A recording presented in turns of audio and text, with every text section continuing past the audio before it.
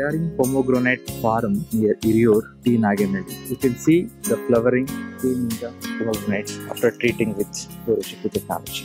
Last time in this farm, they have got fruit size weighing more than 750 grams per fruit.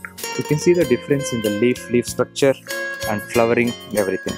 So this is the result you will get if you implement Suryashakti technology at the right time. You can see minimum of 200 to 250 female flowers per plant. And you can see the leaf structure also and leaf color, how it is different and everything. We are at 20 days after Formula 2 application. Totally approximately one month from